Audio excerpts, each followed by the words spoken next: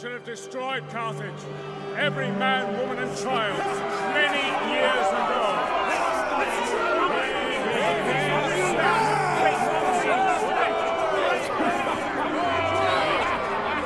Enough! Saguntum is lost, and our Western allies have failed us. Where was the last report of his whereabouts? My spies in Iberia tell me his fleet has sailed. We must expect an invasion at Massalia!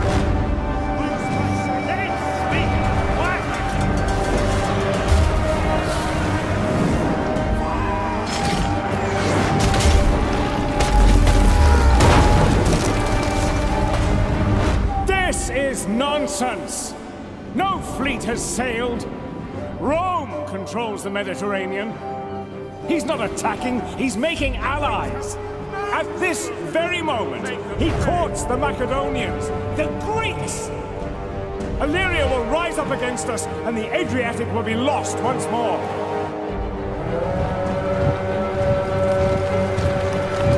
Ridiculous! Epirus won't stand for it. Our legions have sole military access to their land. I believe the attack will come from Africa itself. He intends to cross the Mediterranean and invade from Sicily. Syracuse will revolt and sweep up from the south. That's wild speculation. We cannot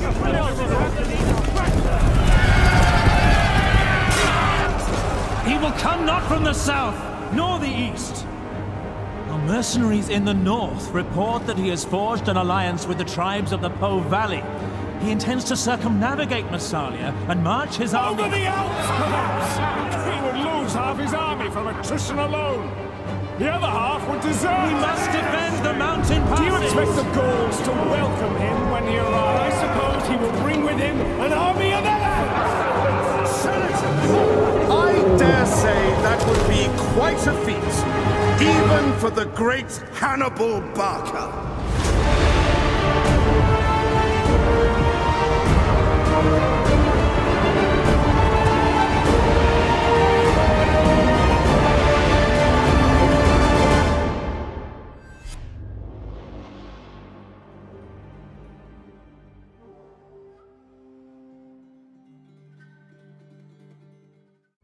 Rome 2 is epic in scale. It's a world spanning, world conquering game. To create that grandeur and that epic sense of scale, we need to create audio that really supports that.